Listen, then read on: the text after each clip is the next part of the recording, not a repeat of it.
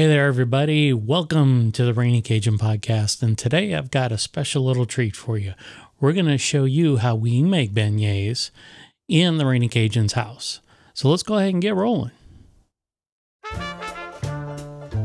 Okay, so we're just going to start with some basic kitchen tools to put this together. We're going to have a rolling pin, we're going to have a measuring cup, and then, you know, you have to have your beignet mix. You can get those at World Market, online, pretty much anywhere. And if you live in the Louisiana area or Southeast, they're pretty much at a lot of the grocery stores like Rouse's and Walmart.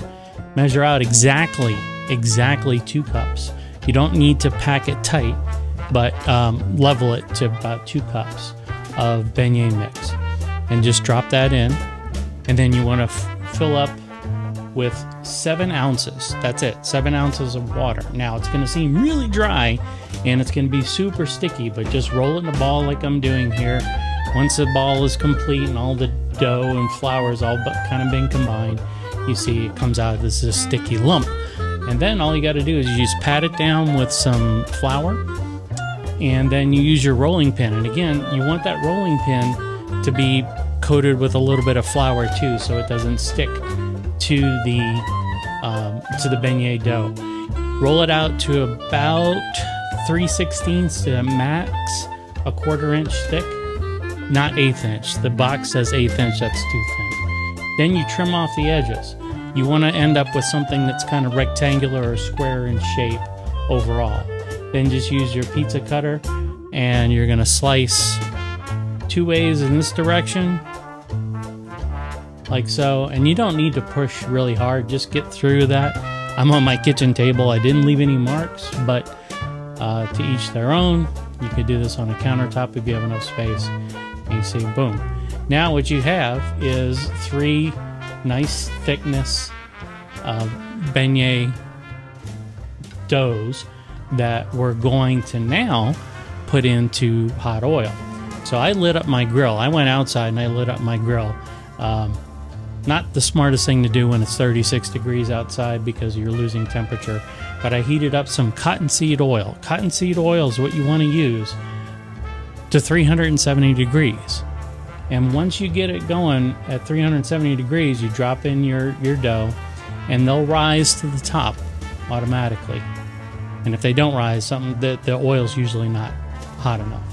And then you see what I'm doing here. I'm ladling the tops of the beignets as they rise to the surface. And you see they get poofy as a result of that. And that's how you get that airy fluffiness with the beignets. Once they're cooked through, usually about 30 seconds aside, you simply just want to pick them up and put them on a drying rack or something that is going to allow the oil to kind of drain out. And this is one of my favorites. We did this for our restaurant when we had one. Uh, this is a praline bacon topping.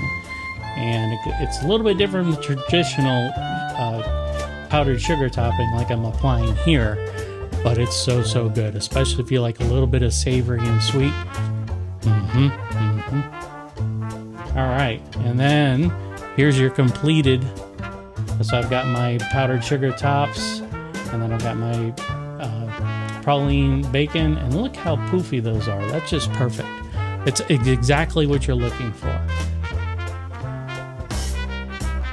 And then you can make your own, just like that. So here's some tips. You can pause the video now if you'd like and write these down.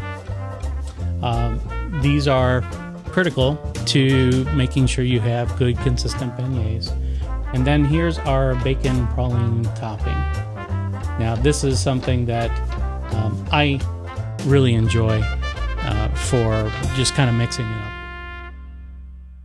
And that's really all there is to it. Now, you know, you might stumble your first time out of the gate. No big deal.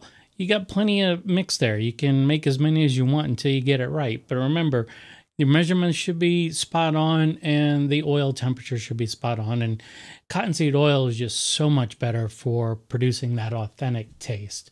So if you like this video or if you want to learn more, we did do an episode about this just recently. You can get it right here. And uh, you can also join us every Saturday about midday uh, Pacific time uh, for the Rainy Cajun podcast. I'm here with my cousin David, and this uh, this coming week, although by the time you see this, it may be a different episode, but this coming week we're going to be talking about pralines just in time for the holidays. So thanks again for joining me, and uh, good luck making your own beignets, and we'll see you around.